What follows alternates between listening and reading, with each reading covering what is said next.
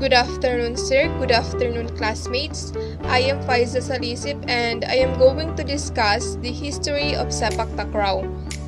Sepak takraw is a well-known sport in Southeast Asian countries. So, ang sepak takraw is most popular or pinakakilala siya sa Southeast Asian countries. So, ang mga bansa na kabilang sa Southeast Asia is 11. At ito ay Brunei, Myanmar, Cambodia, East Timor, Indonesia, Laos, Malaysia, Philippines, Singapore, Thailand, and Vietnam. So since most popular or pinakakilala siya sa Southeast Asia, so may iba't ibang tawag sila sa sepak takraw, such as sepak raga in Malaysia, Brunei, and Singapore, while Khao Mei Lin in Vietnam, Kataw in Laos, Takraw in Thailand, Rago in Indonesia, Chinlone in Myanmar, Sekda in Cambodia, and lastly, Sipa in the Philippines. Sepak takraw is a combination of two different words from two different languages. So, ang sepak takraw na word is nagmula siya sa dalawang magkaibang lingwahe, wherein sepak is a Malay or Malaysian word which means to kick, while takraw is a Thai word for woven rattan ball. Therefore, sepak takraw can be translated as to kick a rattan ball or simply kick ball. The exact origin of sepak takraw are not precisely known. So, hanggang ngayon hindi pa rin alam kung saan talaga nagmula yung sepak takraw. But the general understanding is that the sport was introduced to Southeast Asia by the Chinese. It is believed to be introduced by the Chinese ang sepak takraw sa Southeast Asia dahil ang mga Chinese is merong sport or game na tinatawag na kuchu.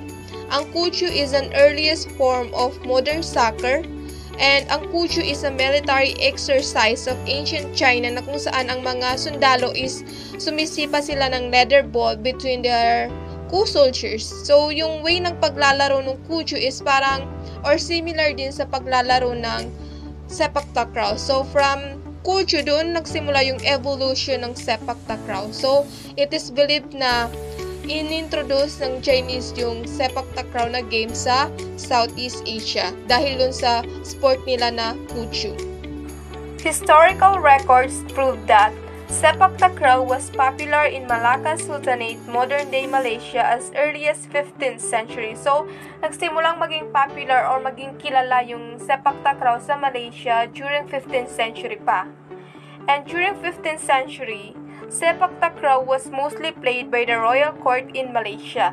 And since naging popular yung sepak takraw sa Malaysia during 15th century, mostly nilalaro lang ito ng mga royal family or royal clan sa Malaysia.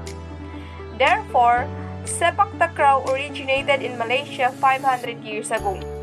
And since it is originated in Malaysia, sepak takraw is Malaysia's national sport. So, ang national sport ng Malaysia is sepak takraw. Furthermore, on 16th century, the game was spread across Indonesia. So, noong 16th century naman, na-spread na ang sepak takraw sport sa Indonesia at tinawag nila itong sepak raga. By 1940, the net version of the game was spread across Southeast Asia and the formal rules and regulations were formed or created for the sepak takraw game. Good afternoon everyone, especially to you sir. I am Faharna Sambad. Today, I'll be explaining the first tournament which is belong din siya sa history ng sepak takraw. So, the first official sepak takraw tournament was organized in Penang on May 16, 1945. Ngunit dahil sa kasikatan ng sepak raga, kumalat ito mula sa Penang at sa iba pang mga bansa tulad ng Kedah, Kuala Lumpur at Singapore. Noong 1960 naman ay mas lalo pa itong sumikat sa buong bansa kaya naman nilaro ito sa, ng karamihan sa mga paaralang may mga badminton court. And in Thailand, the Sham Sports Association drafted the first rules for the sports in 1929 and in the year 1930s, it is believed that the association introduced a volleyball type net to the game and organized the first public competition in 1933. Mas lalo pang sumikat at lumawak ang larong ito, kaya naman ang volleyball-style takraw ay naging parte ng celebrations sa Kingdom's First Constitution at nilaro nila ito during that celebration.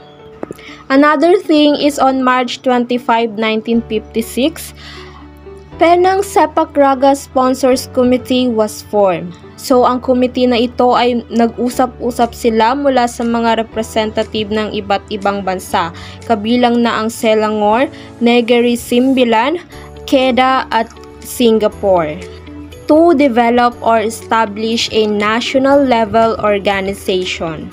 Eventually, Malayan Sepak Raga Jaring Sponsors Committee was established on January 28, 1960. Furthermore, early Sepak Takraw rules and regulation were enacted in April 15 in Kuala Lumpur.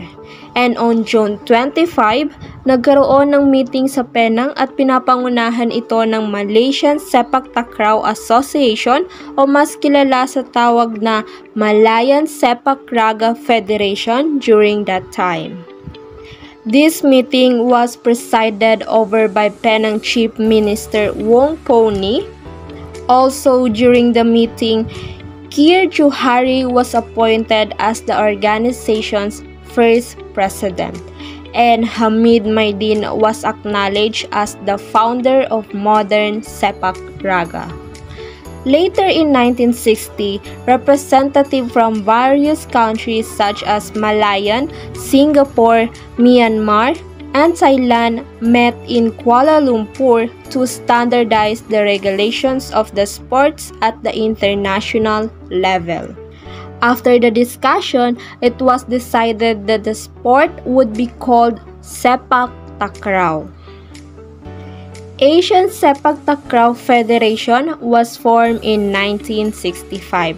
In the same year, the third Southeast Asian Peninsular Games or now as Southeast Asian Games were held in Kuala Lumpur and Sepak Takraw was included as a sport for the first time since then. The sport has been significant attraction in the biennial multi-sports event. In the year 1970, Asian Games held in Bangkok, Malaysia and Thailand, they played an exhibition sepak takraw match. For the first time, sepak takraw was included as one of the medal sports in the Asian Games in 1990. And in year 1985, the first ever Kings Cup Sepak Takraw World Championship was organized in Thailand. This tournament has become the most prestigious international event in Sepak Takraw. It is held every year in Thailand and so far there are 34 editions have been organized. In year 1988, the International Sepak Takraw Federation was established. This was the first international governing body for the sports and was recognized by the Olympic movement in 1990. The first International Sepak Takraw World Cup was held in 2011 in Kuala Lumpur for both men and women. The second World Cup took place in 2017 and the third edition is scheduled for this year 2022. Let's proceed in rules and regulations of Sipak Takraw. But before I explain the rules and regulations of Sipak Takraw, I will explain first why do we need to follow the rules and regulations. It is very important to follow the rules and regulations of any games because rules are are established to protect the weaker class in the society since they are at a disadvantage if such regulations are broken. Especially when rules are properly set and followed, they provide a stable environment and human coexistence in a community that resulting in peace and order. The first rules and regulations of Sipak Takraw is teams consist of three members. In Sipak Takraw, players are allowed for a maximum of three contacts with the balls to get it over the net. Second, start of place begins with a service. A coin toss will decide which start service, while the other rego can pick the side of court they wish to start on. By the way, the rego it means two teams. The third, the feeder will start the game by tossing the ball to the server. Then, the server will keep one foot within the serving circle and use his other foot to kick the ball past the net.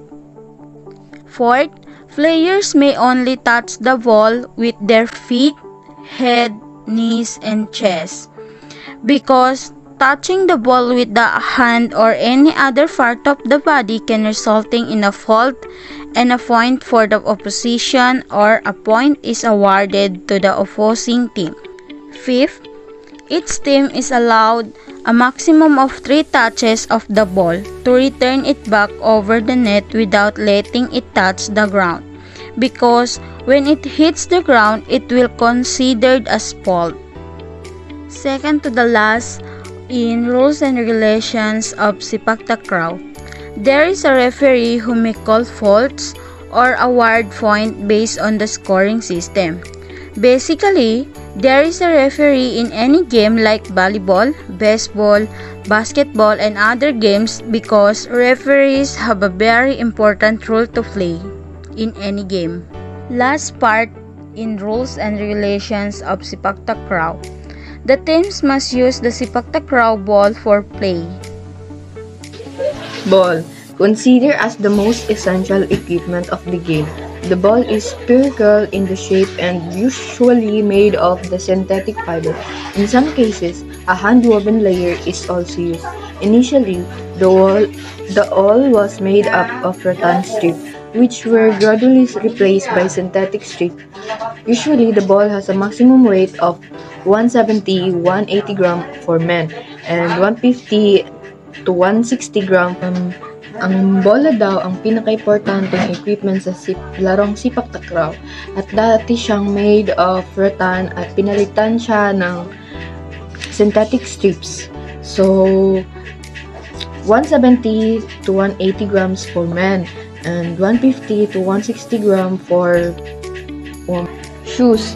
The shoes used in the game are light in weight and have a fit side with soles. It has a good grip on both indoor and outdoor surface and has a sole inside for supporting the high impact of constant jumping and landing. These are especially made for players to help them kick perfectly.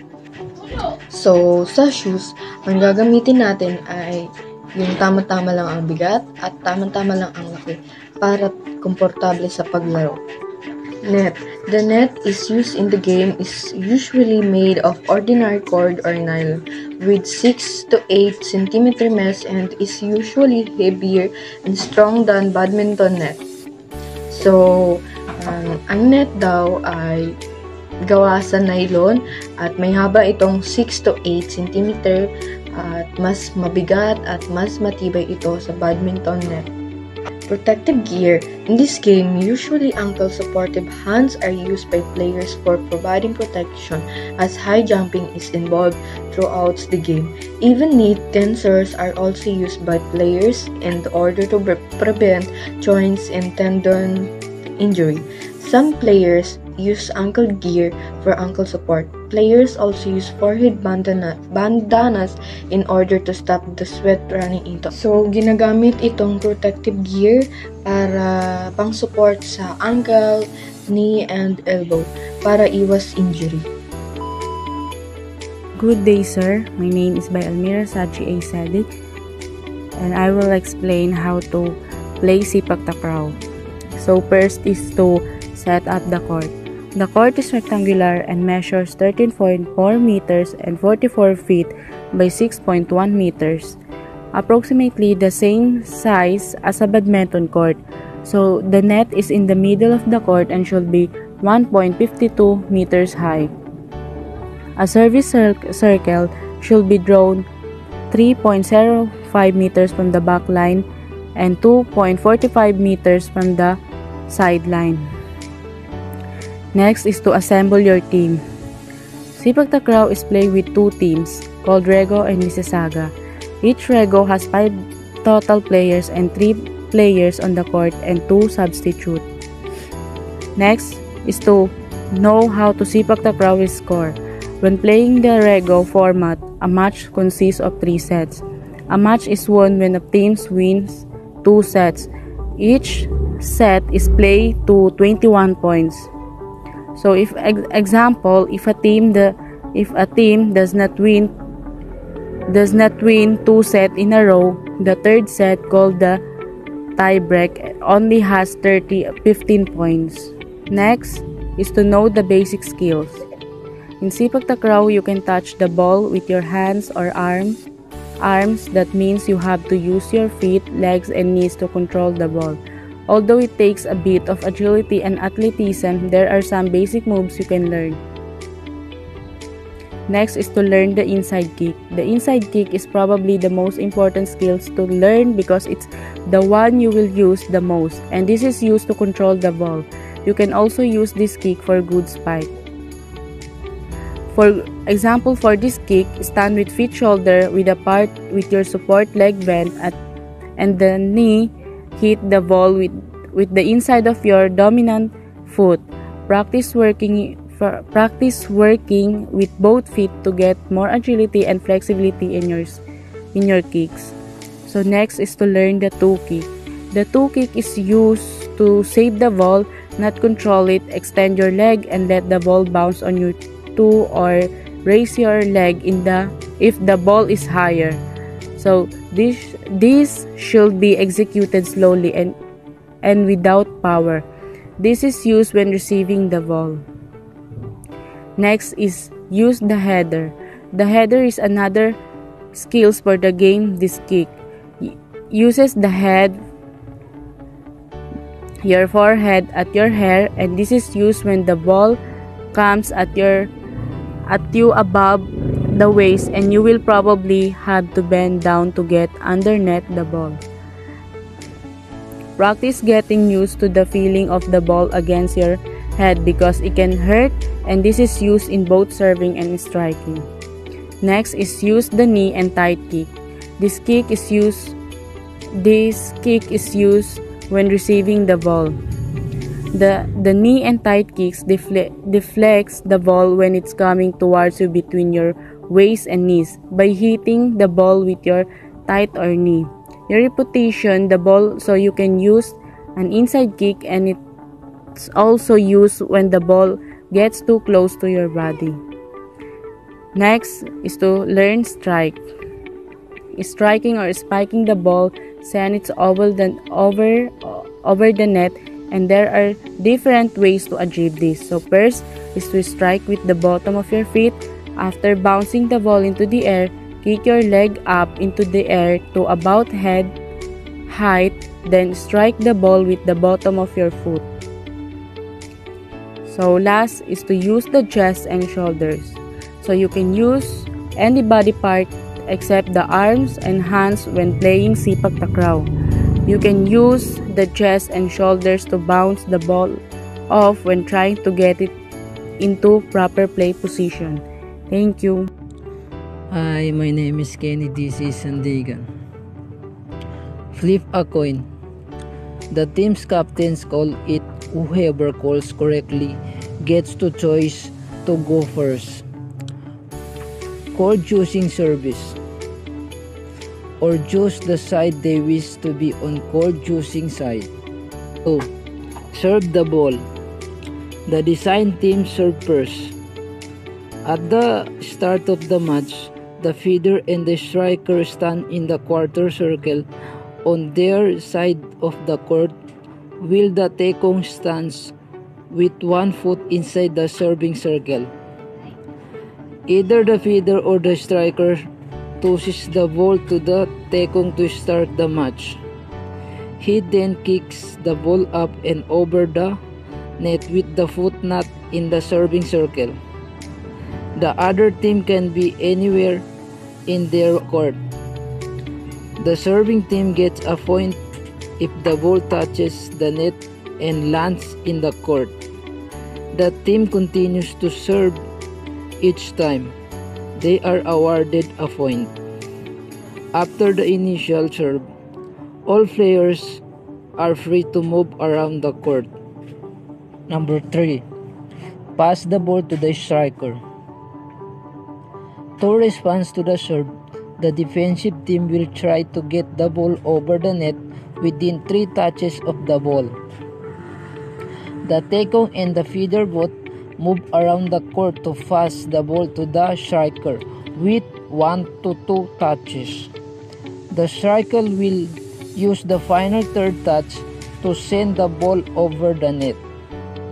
Players can have more than one touch.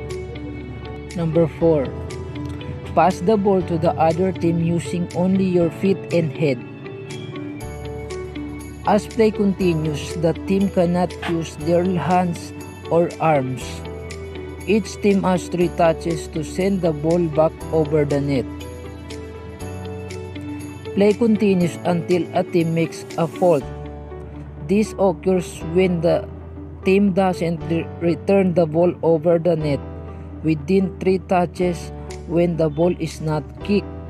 Before it hits the ground the net stop it from going to the other side of the court. Or it lands out of the bounds if a fault is made the other team scores. When a team wins a wins a point they get the next serve number 5 change the side of the court for a new set. After one team gets to 21 or 25 points the set is over. To start a new set the teams change side of the court. The team that loses the previous set serves. When a team wins two sets a new match is started